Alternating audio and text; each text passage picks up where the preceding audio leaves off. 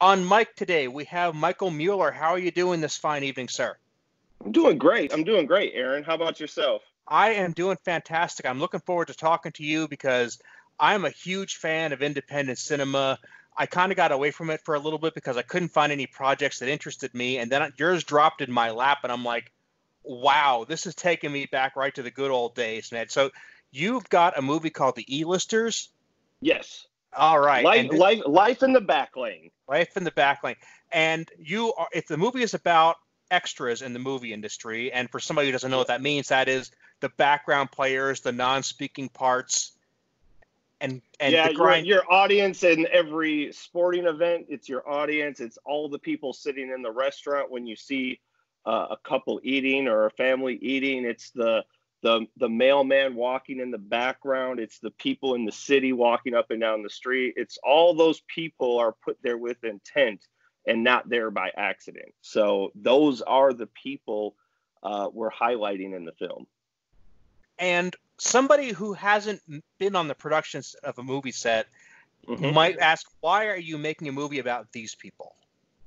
Well, there's so there, there's a class warfare that goes on in their subculture, uh, where you know honestly they're they're they're really mistreated souls. They're the they're treated like the third world stepchildren uh, of Hollywood, and they're they're the unwanted but needed or even required. Could you imagine watching Karate Kid and there's nobody in the audience when he does the crane kick? And Yeah. there's no one there to cheer for him. It's just like his mom and his girlfriend and Mr. Miyagi and and, and that's it. There's there's it all of a sudden it kind of loses its epicness, right? mm-hmm. So I think especially because we're in such a funky period with just storytelling as a whole, we're we're in it's like we're in a constant generation of remakes and reboots and there's not an original idea coming out of mainstream hollywood. Um, and i think they're out there and this is a good example of one because when you even watching the trailer or the teaser there's not going to be anything you can really compare it to. No. Um, there really isn't and like i said this takes me back to the early to mid 2000s when independent movies were kind of at the forefront of our attention. And this is i would say i compare it to some of the best of those. I would even put it in the, the realm of of a kevin smith type of movie that has that feel to it. So i'm wow wow. That's awesome man. Yeah and, and i'm not trying to ladle on the praise but i'm like this is something i'm psyched for. And and for somebody who's not into film Mhm. i might I, I have to point out what's obvious to you and me is that when you watch those sporting events or the big wedding in the big church with all the people there they didn't just find a church full of people who were willing to be quiet no they, they every one of those people was selected and people Yep. who don't make movies don't realize this that there were effort to get that crowd there Yeah. Oh, yeah. I mean, you know, they have everything from something like those large scenes, which they call them the cattle calls because Mhm. they're really just trying to get butts in seats. And then, you know, they have the more, um, like in, in a lot of our scenes, it's more hand-picked or what they like to call featured core background artists Mhm. um, where where you may have a table uh, in a conference room and there's people that are in the scene. Um, they just don't have any lines. They're they're Mhm. background actors. They're they're serving a purpose of whatever it is the director, the story the director's trying to tell. Um, and Edward Reid, who is the creator, writer, and lead actor in the film, he spent many many years doing background and he knows a lot of that circle of people. So when he decided to write the script he's basically taking um, experiences and stories from set and there's actually like a whole facebook group page called stories from set and it's this again another subculture of background artists. Um, and his depiction is very spot on. Most people that have seen the the trailer or have seen the the extended teaser ha- said it was scarily on point like with the way that is from their experiences not being on our set but just in their own experiences we really hit the nail on the head.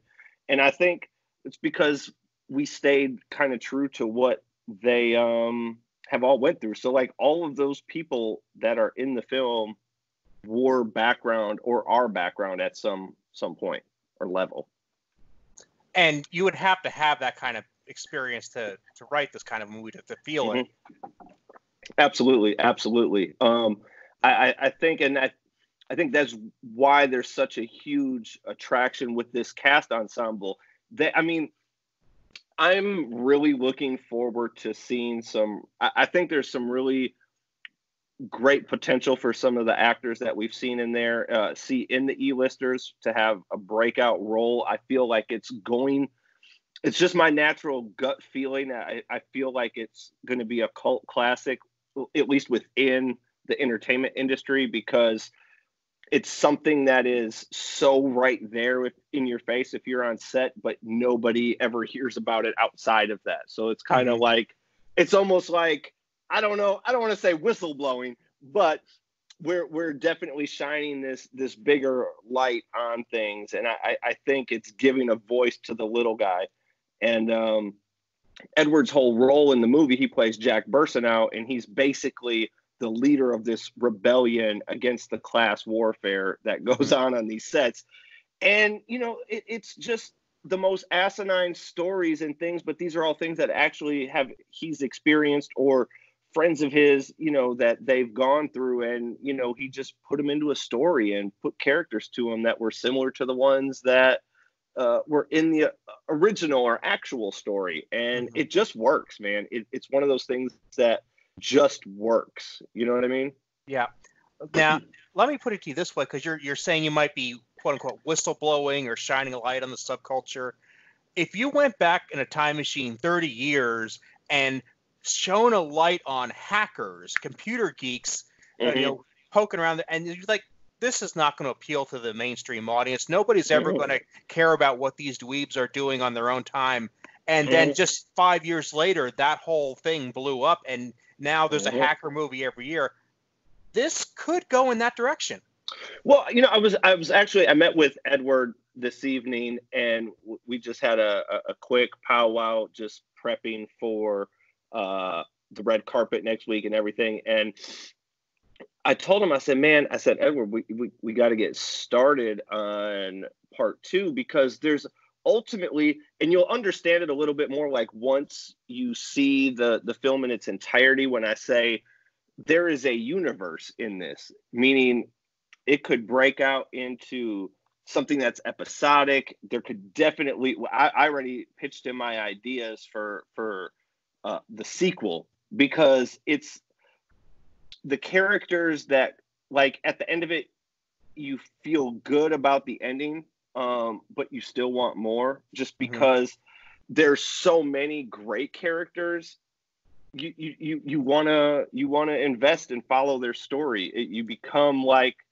one of them you become an e-lister through watching it by default like you're an honorary background artist just mm-hmm. by joining up for the adventure you know what i mean and it's a, it was it was probably the most fun i've had on any set uh, and creating something as chaotic. And again, those things will all play itself out when the movie's released. But it was the most insane time I've ever had making anything, and I, I wish I could go back and do it again. Like it was so much fun. Like mm-hmm. it's not fair at some level that someone is that having that much fun at work, you know. But someone's got to do it, you know. Mm-hmm. now, I will not push you to give away any details of the movie because I'm sure you want to get to the premiere. You don't want to give any spoilers, but if you could give me some sort of background as to what kind of a, a class warfare are you seeing between different factions of background players? So the so no, and this is public knowledge. So and we just included it in the film. But what I can tell you is that there is for example, uh, craft services, where all the snacks and the beverages and all these things that are uh, there for cast and crew consumption, um, they have a cast, uh, they have a crew crafty for the crew and the, the main cast, and then they have basically a table with cheese balls and a bottles of small water that are on a table for the extras. Because there's so many of them they don't get you know they're just treated differently. They don't, Mhm. you know, they sit in a room packed like sardines for hours, and then they, you know, until they're hurtled into a room to shoot their scene, and they get paid basically. What it comes down to is usually uh, $64 for eight hours worth of work and they're human props and that's how they're treated they're not treated they're, they may be treated worse than the actual props that are you know that are being used in the Mhm. film so everyone kind and, and and you see in the scenes where we have Derek the PA who is like a Napoleon dictator and he's that production assistant that lets any ounce of authority or power go to his head. So, you know, he's put over there's always a production assistant that's over the the cat the extras holding area and if it's time to go to wardrobe, he he funnels them in or if he's got to bring X amount up to set, then he's it. But he just does it in the most dictator Napoleon type way. He's just, you know, he's destined to be great in his head, and that's that's how he acts. hmm So those are some of the ideas of where it is, and it, it, it's just that they're shoved in the rooms. You know, you got cast like your your speaking cast probably gets a nice comfy trailer um, with anything they want or you know ask for, and these guys are fighting over cheese balls and bottles of water. Uh, packed in a room together you know and that's kind of like in that in the teaser you kind of see us go through uh the holding area and what that different what the different cliques are like. It's almost like back in high school and you go to the lunchroom and everyone's kind of grouped together in their cliques. It's the same thing it's just different types of cliques you know and we kind of cover that. And you tend to think that the clicks will go away when you leave high school, and that's not even close to true. that it, they get worse. Hmm because you know in in high school it's probably like five clicks but you walk out into the real world and all of a sudden you realize everything that has like a subculture has its own click. Like and now it's like well like in the the teaser we have the the click of campers which bring all the the fancy chairs to set and they have all their supplies to sit there for 16 hours.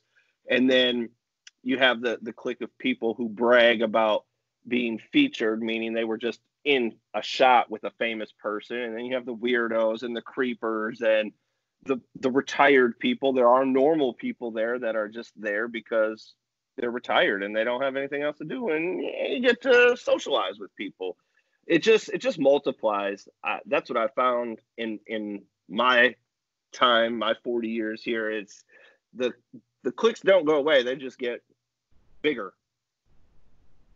Yeah, and I think in some cases, and just to to drag that home, in high school, the only thing that kind of keeps it under control is that you're you everybody realizes they're forced to be in the same building for eight hours a day. When you Mhm. get to the real world, when you get to a movie set, that's something that you're kind it's a clique you're choosing to be in, and in some cases, people are paying you to be in there. So somehow that pours fi- gasoline on that fire. Yeah, so it's it well, you know, so I would say there's there is the click of especially in the indie filmmaking world, right? There's the click of all the people that want to make films or tell stories, but then within that you start having like the sound people are a click and then the camera department is a click and then you know your locations people are a clique and then the actors are a clique. Like all of a sudden it starts getting broken into these different segments uh which it gets really odd sometimes because it's like i can literally walk on someone else's set.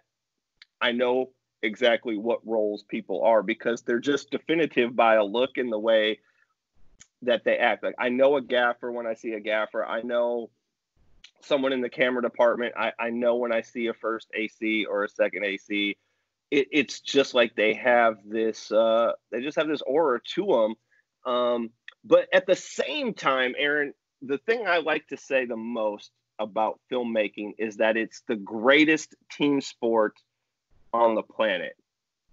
And you know, people, oh, what do you mean a team sport? And I'm like, look, you you have the most random group of people that come together to tell a story.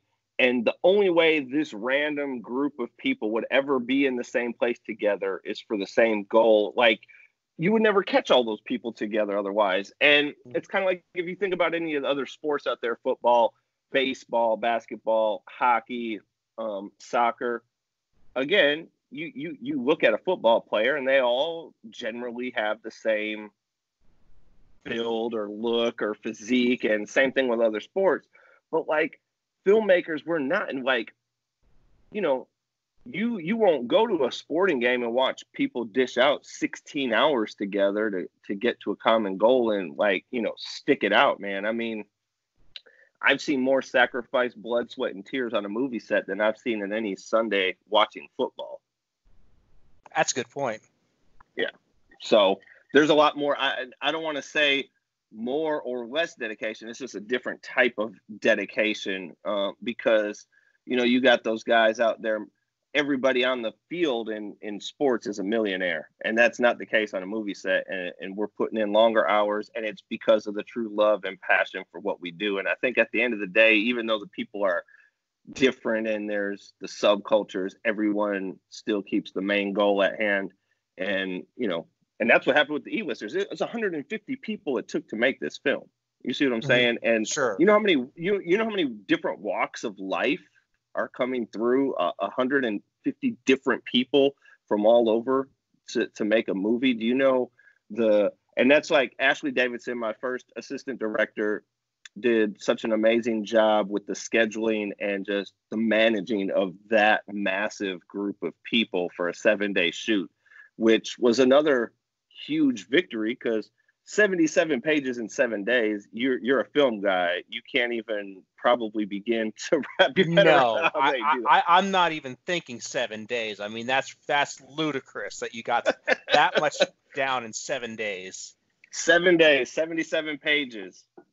70 pages. How many locations? Um, ultimately, it was eight locations, but we holy fli- shit. Yeah, so we, but we flipped some of those to pull off multiple looks to where you it. So actually, when you watch the movie, it will seem more. It will feel like way more than ten locations, but we were able to double and triple up some of the locations, and that was kind of our thought process in pre-production when we were locking in places that we could pull, um, you know, maybe two or three different scenes out of a location so we didn't have to do a, a, a, company move because you know that many people that much we shot a cam and b cam you know 4k so like we just had like this tremendous amount of footage and coverage and it was just easier like we could go to a location and pull everything out of it that we could so but you know again it goes to having a great team like my team ben Beeler, my dp uh, we we had worked for together for like two years leading up to this project so we had a really good um, vibe and understanding of i knew how he worked. He knew what from a director standpoint like my look that i prefer to go or lean towards when it comes to lighting and uh, camera movement and you know composition. So those are a lot of the things that attribute to being able to pull something off as insane as we did, and it ha- comes to uh, getting your tribe together way in advance. Like, don't try and crew up the week of a shoot. Like, spend your time. Like, I host a, I'm a co-host of a, a of a monthly mixer we do here in Atlanta, mm-hmm. where it's just it's all about uh production crew, and I'm constantly mingling because like I never know like if a guy's going to get sick or he's booked on something. So it's like I got to keep that circle constantly fresh and I do the oddest and I could tell a lot of production people aren't used to being I come from a, a corporate background, so my interview style is a little bit different. And when I know we got some things in the works and we start crewing up, I host these interviews and they're always thrown off because I don't ask them any skill set questions. It's about deciding or figuring out if they're like a decent human being and are they going to be a problem on set or are they going to mm-hmm. add to the value of the set so i'm asking a more human interest questions than anything else because i can help fill in the gaps on skill set and i can teach skill set i can't teach you how to be a decent person and i think mm-hmm.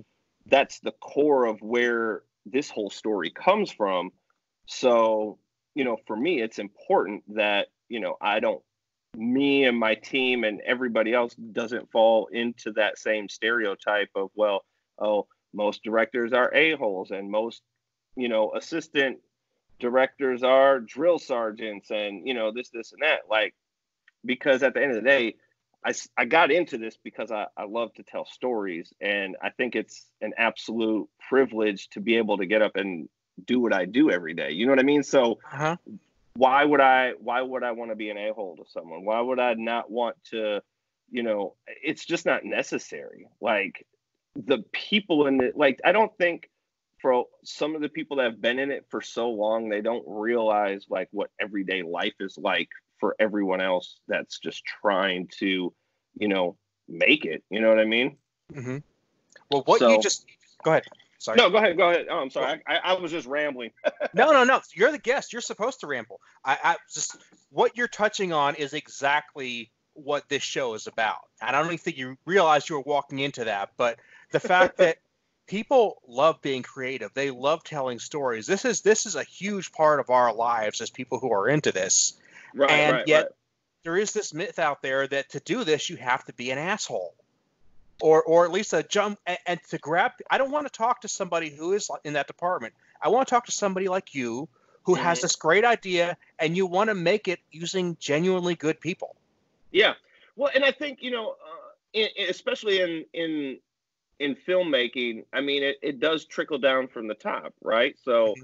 if if the director is a d-bag and that's how he treats you know his circle then that's going to just filter on down and you know, going like well, you take the E-listers, how ambitious of a project that is. I know in order for me to accomplish this and succeed at it, because I don't think anybody gets into filmmaking to want to fail or half-ass it, right? Like mm-hmm. I think everybody wants to be a successful filmmaker. The logic for me is, well, if I need everyone to be giving 150%, is the second you you you start talking down on someone or making them feel inadequate, do you think they're going to give you 150%? Like I just I don't I don't understand that that logic that people have that and I think a lot of times it it's when someone's doing it now it's because that's how they were treated when they were coming up and that mm-hmm. It, it's just something that I it's almost hereditary and it's just passing it down because that's how they were treated. So they feel like okay this is how we got to treat the new round of people. And you know that's what my interviews are about. I don't i don't want that. I don't want ego. I don't want people feeling privileged. I you know i try to open a very collaborative and creative space where people feel okay providing their two cents. Like at the end of the day like you know I'm going to have my say in the edit room and what the final cut is and all this and that. But like when you're on set, especially for me as a director, like in that environment, we had a crew of 20, 25 people. Uh, some scenes had 40 actors in them.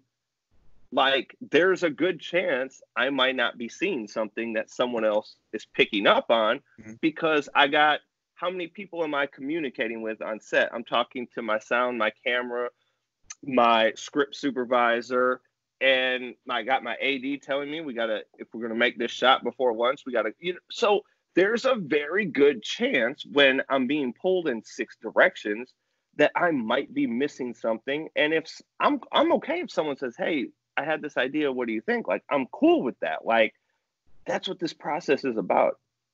And if it's a good idea and I didn't think of it, you know, we'll run it. If we have time, whatever, we can explore it. But you know, there's like this weird thing. Oh, you know, you like people aren't supposed to talk to the director, or people aren't supposed, you know, you, you got to go through some type of chain of command. And like, I get it to an extent, but I mean, like, I'm not the Pope, or the a director's not the Pope. You know what I mean? Mm-hmm. Like, they're freaking human. Like I don't I don't understand some of the logic or where some of that stuff comes in. Like, you know, people are better. I think everybody just has a different job on set and a director's job is kind of directing the ship to get to the end, you know, and that's really it. But I think the creativity should always be, you know, should be collaborative because, you know, I, I, I, it, I just can't see why you wouldn't want to have some input. You don't necessarily have to utilize it, but why not hear what someone's got to say? There's no harm in it. There isn't exactly. It's like, okay, yeah, I don't agree with it. So, you know, but I appreciate the feedback. Like there's just it's sometimes it's just the way we we communicate. I think that's such a key. Like at the end of the day, if I take that now, I don't know what these people will end up being or doing or having what type of career they're going to have or what the next time we cross paths. But if what what is it going to do? How is it going to hurt if if I make that person feel valued and feel like and they felt like they were heard?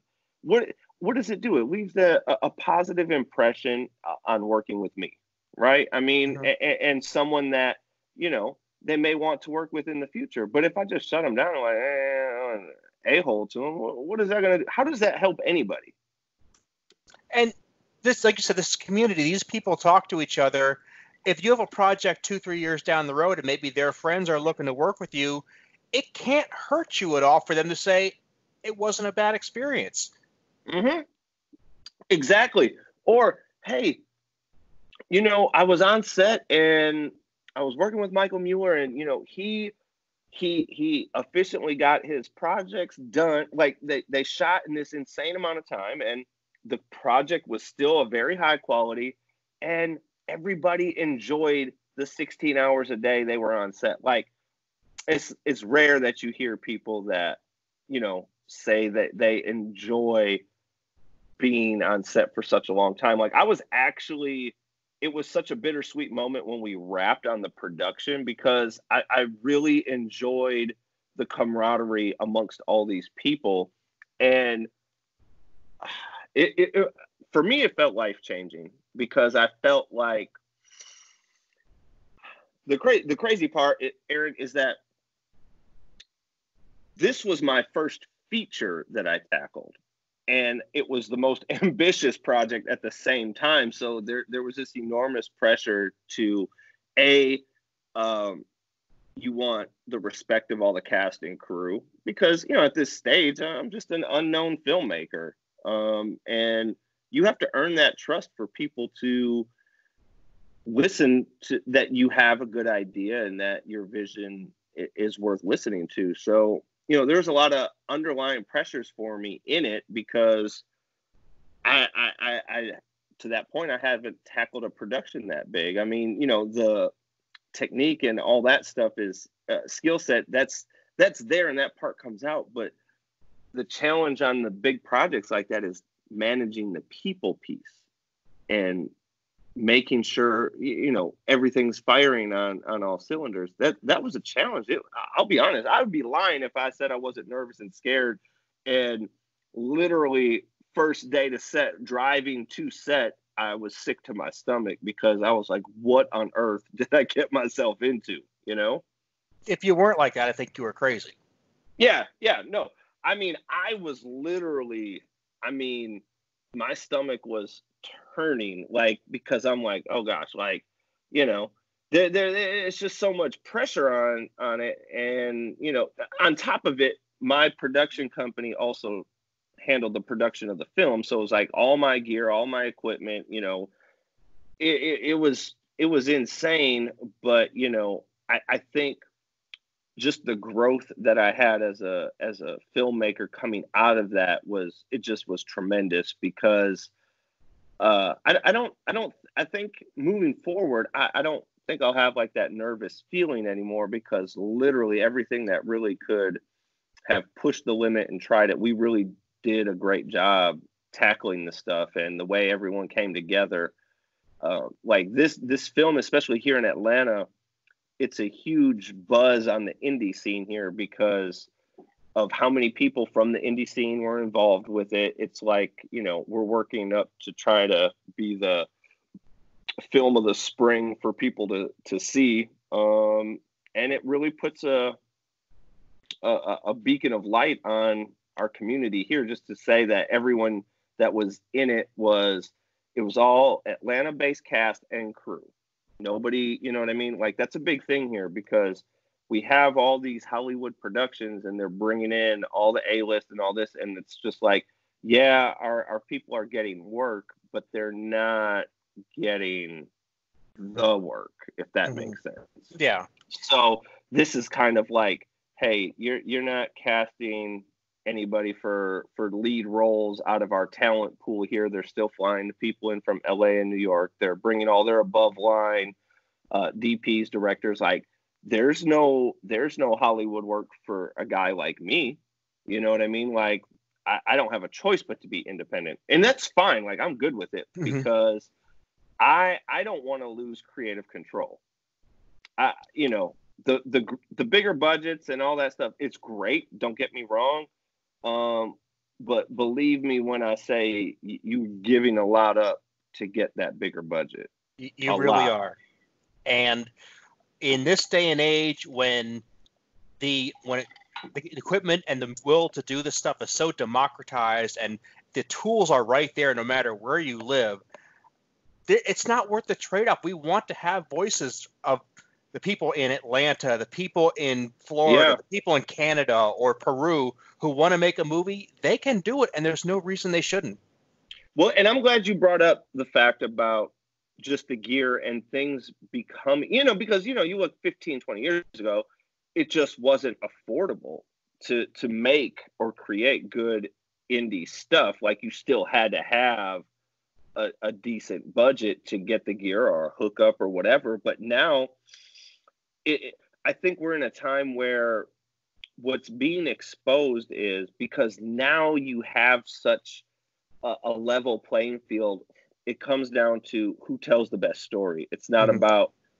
I got access to all this equipment and you have a camcorder. No, uh, I feel confident that my film can stand next to or go toe to toe. Like from an audience perspective, it looks good. It it could play on the mm-hmm. TV right following you know anything else, and no one's gonna bat an eye and say, "Oh, that that's that's an indie film." It just looks it, the quality is there. So mm-hmm. now, now it comes down to, and this is going to keep uh, evolving. It's going to come down to who tells the better story. Because, granted, right now we're in a world of Marvel universe, and that's always going to that's going to be what the theater experience is. Probably moving forward, but now there's outlets for people like myself and other hundreds of thousands of indie filmmakers where you know binge watching stuff on streaming services is the new feature film like mm-hmm. it's where people are going and this is what I, and here's here's a mind-blowing thing possibly may maybe not for you aaron but i've had conversations recently with uh, peers friends family that in the next 10 to 15 years, YouTube or something similar to YouTube will be the standard of how content is consumed. Mm-hmm. It will it will eventually um, I say not I don't want to say wipe out Netflix and the other streaming services, but here's the thing. I have a 4-year-old and I have a 2-year-old. All they want to watch is YouTube and I have friends with kids that same age. So they are growing up as YouTube kids and they're watching this wide variety of content. So when all of a sudden you take that and multiply it by millions of kids growing up, you, you, you could go to the store, you go anywhere, parents give their kids the iPad or an iPhone and they're, they're watching YouTube. Mm-hmm that's going to be the norm. So it, when when you think about when they grow up to be teenagers, what do you think they're going to go to thing is? They're not going to want to go streaming. They're they're growing up on YouTube. That's going to be the norm of what television is. And we can't look at the past or what's right in front of us. We have to look at the as content creators, if you want to survive in this game, you, you have to look at what and how a younger generation is consuming content. And that's where you kind of have to shift your your your attention, right? So and now YouTube's already ahead of the curve. They're starting to create shows and all this stuff that doesn't make sense to us because I'm like, oh well, they're doing original series like Netflix or whatever. But guess what? They're not targeting me and you. YouTube is targeting they they have more analytics and more there are there are 300 what is it it's like 300 million minutes of video some, something crazy but 5 billion videos are watched a day on youtube and that's not even counting like people that rewatch videos that's just mm-hmm.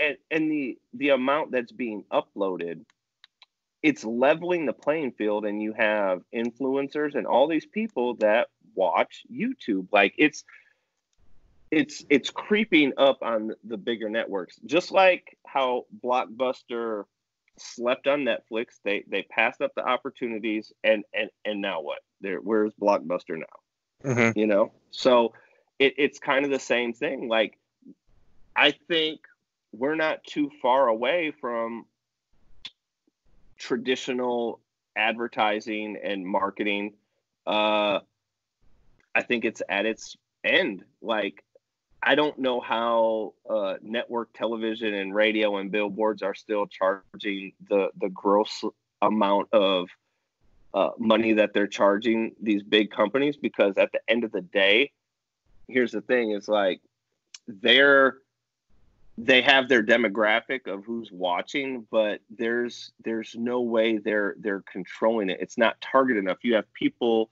in groups like youtube and facebook that are getting all these analytics and they're like hey you know what?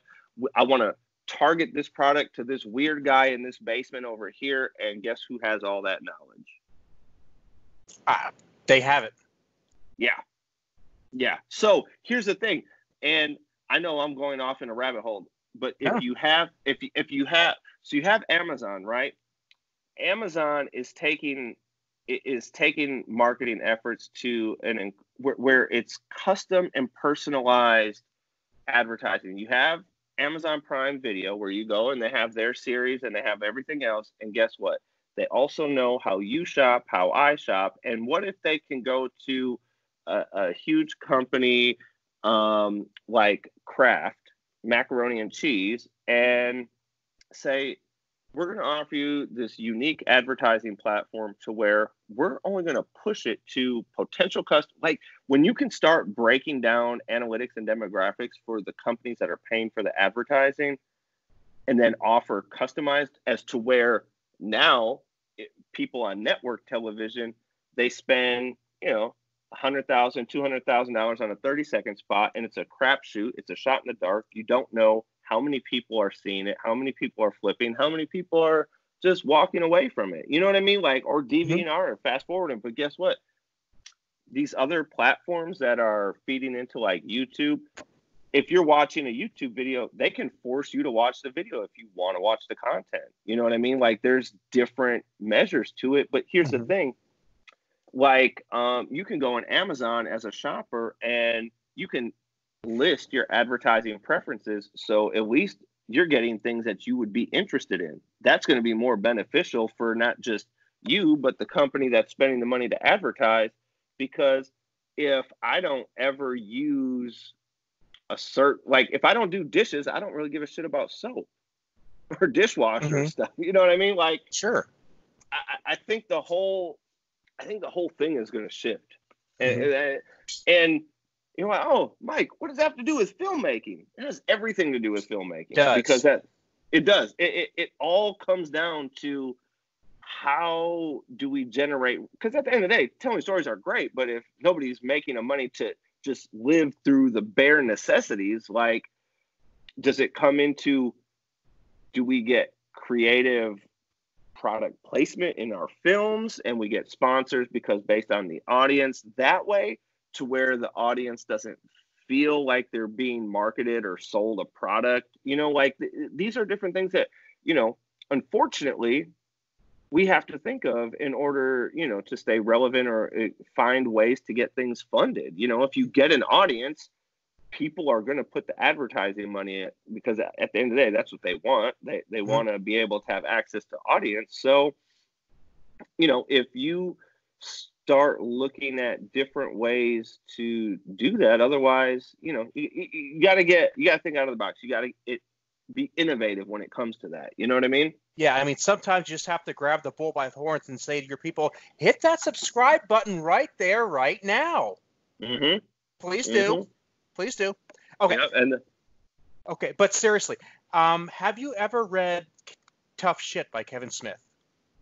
No, because I don't read, but that sounds really interesting. Okay. Uh, it was a book, and the thing is, it was printed about 10 ish years ago, nine, nine, 10 years ago. My wife mm-hmm. got it for me for Christmas the year it came out. And the thing is, it was before Netflix got really big into streaming. It mm-hmm. was when YouTube was just getting its feet out.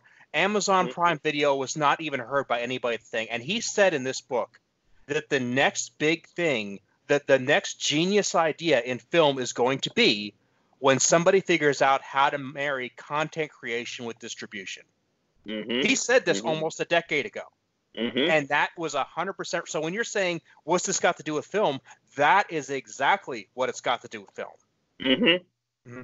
I agree one thousand percent, and I think you know at the end of the day, uh, we're paying for premium memberships to avoid advertising, right? Mm-hmm. So, and everything now if it, everything now is subscription based if you want to listen like i don't even understand how, why people advertise on the radio anymore. Like who listens to traditional turn your car on radio? Like i don't even understand how any of them are in business. There's a gazillion podcasts out there. There's a podcast for everybody at mm-hmm. some level there is pandora there's spotify there's soundcloud there there's a million things other than listening to 30 commercials in a row on the radio to hear the same four songs played over I, I like it's mind blowing to me that advertisers or companies are still spending their their ads their ad budget that direction it mm-hmm. just it it baffles me so let's let's make sure that we we get people to watch this movie because, like I said, you've got a big, big week coming up. The premiere is right. coming. Where right. can they see this movie? So, uh, if they are local and in Atlanta or the metro Atlanta area, uh, the premiere will be on the 12th at the Midtown Art Cinema in uh, in downtown, and then following uh, on the 13th, Friday the 13th, nonetheless, we will be uh, available for digital purchase or rental on Amazon. And this episode is going to go live very late that Wednesday night on the 11th. So if you're listening to this right away, check it out. Uh, and where can we follow your adventures otherwise after that gets released? Uh, definitely, I have the home base of m3creative.net, which has links to all my social media, my whole portfolio, uh, the uh, the progress of my studio that we are going to have our grand opening shortly after the premiere. Um, we just got to get to our final inspection, which that's a whole nother story. But we, I, it, it's been in renovation for almost a year. I bought a building, 2,100 square feet, last May, and we are just now getting to the finish line of uh, renovations. So that's exciting. Awesome, awesome. Well, Michael, this has been fantastic. I I want to cut you loose so we can make sure we both get stuff taken care of. Yeah. But thanks so much for being here, and I'm really looking forward to this. I please anything that you got needs check out my website www.aaronbossig.com. All the show notes and links are going to be in there. Yeah. Hey, and Aaron, I would love for you once you get a chance to watch the film. I I would love just to get your feedback and just you know what you thought of it, um, because those the the honest feedback and the the honesty it, it just it helps me become a better filmmaker um, because it's my job to try and figure out how to create stuff that an audience wants to see. You know what I mean? So uh, definitely be interested to hear that from you. I will definitely check that out and I will get back to you on that. Okay, sounds great. Okay. My man, have yourself a good night, okay? All right, man. You too.